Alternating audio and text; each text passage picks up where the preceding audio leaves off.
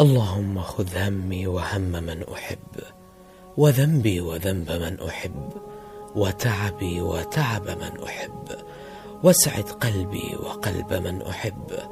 اللهم اجعلنا ممن تغيرت أقدارهم إلى الأفضل ولا تحرمنا مما نطمح إليه ولا تصعب علينا أمرا.